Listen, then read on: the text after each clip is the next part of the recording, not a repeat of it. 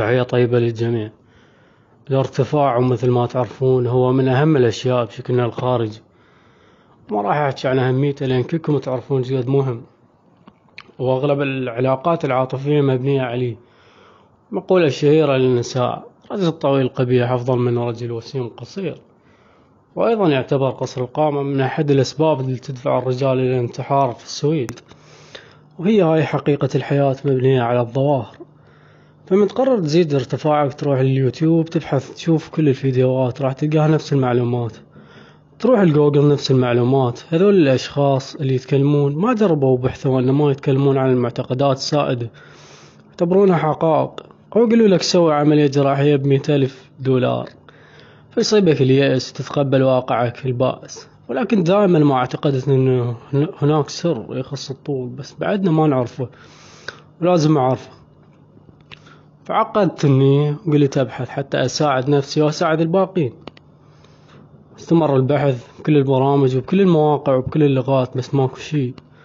لكن بعدني مصر إنه أكو سر ما نعرفه بديت أبحث عن العظام لقيت بارقة أمل بسيطة. وهي وجود خلايا بانية وخلايا محطمة. تبقى المدى حياة الإنسان تشتغل. وظيفة الخلايا البانية تبني العظم وتزيد كثافته حتى يتكيف ويا الظروف.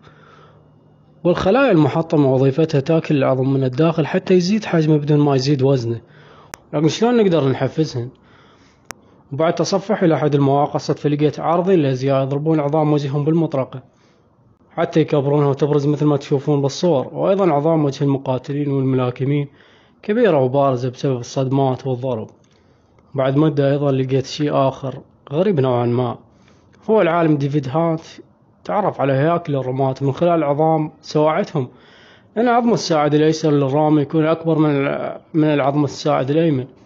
وبعدها لقيت عشرات الأدلة. مثلا عظام العضد للاعبين التنس يكون الطرف المستخدم بالضرب أكبر من الطرف الثاني. ومثل ما تشوفون بالصور وعظام أصابع متسلقين الجبال تكون كبيرة وأيضا فرق بين الطول أذرع لاعبين البيسبول. شنو يعني هذا؟ يعني أن البيئة تتحكم ببنية العظام مو فقط الجينات. وهذا يسمى بقانون وولف للطبيب الألماني ليوس وولف يقول العظم يتكيف مع محيطه. فاقترح بعض المختصين أن الشخص إذا أراد يزيد ارتفاعه. لازم يركض بسرعة ويقفز على الكاحل حتى يعمل كسور مجهرية بالعظم اسمها ال micro fracture ولكن المشكلة العظم يزداد حجمه بشكل عرضي مو طولي. الآن لقيت طريقة تحفز الزيادة بشكل طولي ونجحت وياي الطريقة. الطريقة تعتمد على دمج تقنيات رتبتها على شكل كتاب بي دي إف إذا تريد راسلني وحاليا هاي الطريقة هي أفضل طريقة بالعالم. الطريقة اللي يستخدمونها هذول الأشخاص بالصور ضفت لها طرق وياها حتى تكون الزيادة أكبر. وحاولت بكل صورة أنه أصنع طريقة سهلة وواضحة وخالية من التعقيد. قبل ثلاث سنوات وعدتكم بيها وهسه نزلتها سبب التأخير هو أنه أنطيكم أفضل شي بالعالم. راسلنا على التليجرام أو الإنستغرام. وداعا.